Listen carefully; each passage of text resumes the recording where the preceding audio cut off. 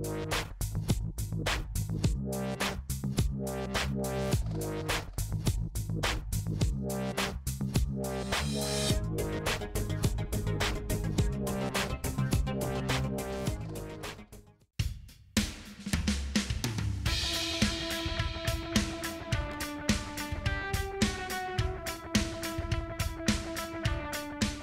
Poder brindar una calidad de vida superior a las personas con alguna discapacidad en su movilidad de miembro superior o inferior es tal vez una de las principales prioridades de los investigadores de la Universidad EIA en el Valle de Aburrá.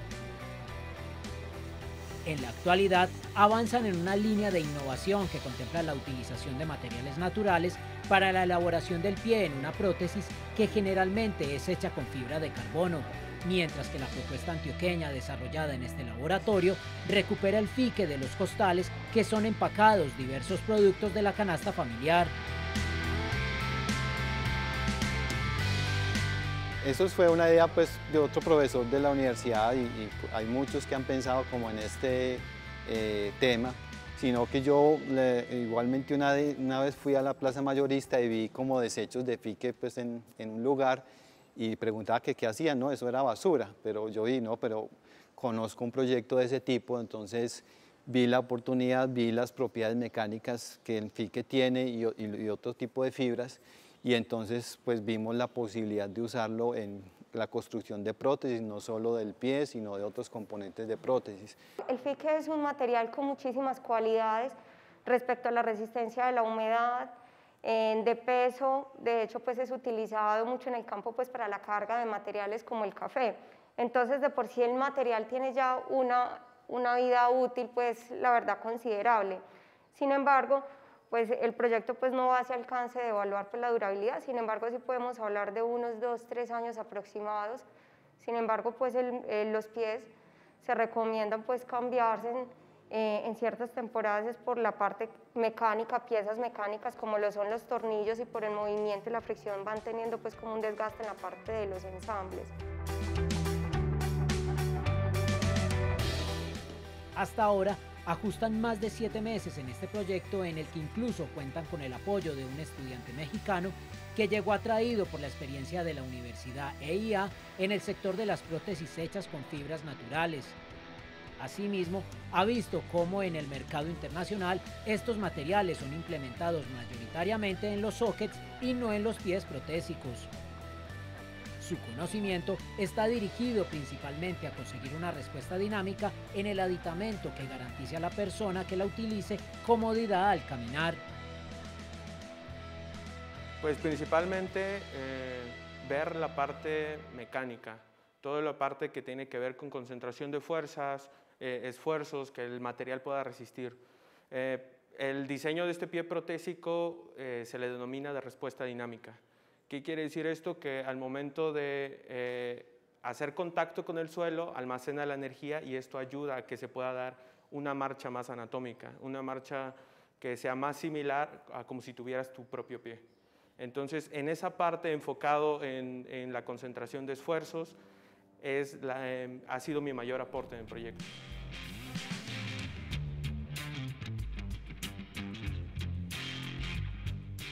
El equipo que hace parte de la investigación destaca también cómo el valor de un pie protésico hecho con fique oscilaría entre los 10 y los 20 mil pesos, que resultaría de un costal que cuesta máximo mil pesos y del que podrían elaborarse hasta cinco aparatos. Este precio, sin lugar a dudas, garantizaría un mayor acceso a esta ayuda ortopédica a poblaciones de escasos recursos afectadas por amputaciones en miembro inferior. Eh, la innovación en materiales eh, es muy necesaria en nuestro país porque los costos son altos, además el dólar, eh, casi todo esto es importado, entonces la idea es adaptarnos a materiales de, naturales o que se puedan adquirir fácilmente en el medio y eso pues nos ha llevado a un camino que, que, pues en este momento pues ya vemos los primeros resultados en deportistas de alto rendimiento. Es algo soñador porque uno lo ve, uno se imagina ya ese usuario pudiendo tener algo en el que él pueda ver que, wow, o sea, esto es algo realmente asequible que yo lo puedo tener. Eh, si se me daña no tengo que tener la preocupación de adquirir otra. Entonces realmente vemos el proyecto con muchísimas posibilidades no solamente en el sector del campo, sino cuando lo hablas de minas antipersonas, que un militar o un niño o una persona pueda adquirirlo de manera pues muchísimo más rápida y someterse a ese tratamiento para que pueda volver a, su, a establecer su vida pues real, laboral y académica, pues de volver a un colegio o volver a jugar. Pero los emprendimientos con uso de tecnologías también han llevado a los profesores y estudiantes de esta institución universitaria antioqueña a incursionar en la construcción con impresión 3D de un socket, como es conocida esta parte de la prótesis. Según sus experiencias, al no ser hecho el encaje con yeso como es frecuente, se evita el desperdicio y la contaminación y los errores en la elaboración manual de la pieza, puesto que el muñón varía su volumen durante el día. Por decir, les voy a mostrar. Eh, esta acá se ve como la cabeza de peroné, ¿cierto? Que es un, hueso que sobresale en el muñón transtibial y se debe aislar para que no maltrate tanto a la persona. Entonces, eh, manualmente se hace y tú lo haces como raspando el yeso y llegas a darle esta forma. Pero ¿qué pasa? Que al momento de medírselo, como es un proceso manual, puede generar eh, fallas o, o maltrata o no se hizo de la manera correcta o le pusiste más yeso de lo normal, entonces le quedó muy ancho. Lo que se hace con el modelado 3D es mejorar sobre todo en esa parte de las modificaciones, porque ya tú mediante el software tienes directamente el muñón escaneado, o sea, no le hiciste una parte en yeso, no lo rellenaste y se eliminan esos errores humanos.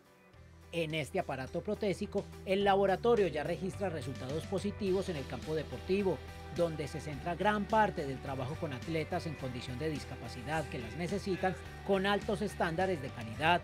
Esto es fabuloso, pues a mí personalmente me llena mucho, me, siento muy bien de hacer parte de esto y de poder contribuir con mejorar la calidad de vida de una persona con discapacidad. Eh, fue muy emocionante cuando vi que este prototipo, pues que fue el que finalmente quedó terminado, que ya nuestro paciente pudo caminar, eso fue una sensación impresionante.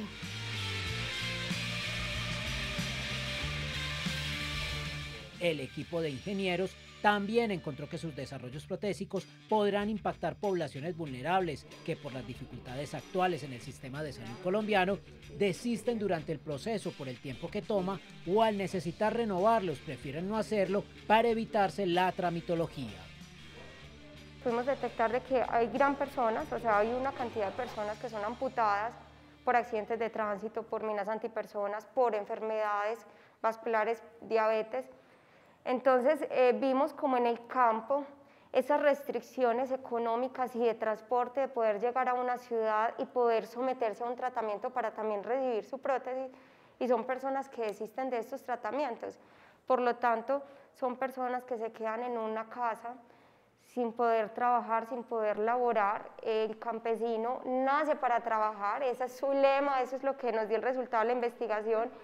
Y uno poder ver un producto de estos que es económico, que satisface todas las necesidades que ellos pueden tener, realmente es satisfactorio. En materiales pues queremos hacer mucha innovación, puesto que pues comúnmente hay unos materiales que son los que utilizan una ortopédica normal de alto costo y lo que queremos es poder hacer materiales que inclusive se usan en otras aplicaciones de ingeniería y que puedan ser implementados en prótesis a unos costos más bajos sin sacrificar eh, la resistencia mecánica o el rendimiento del material.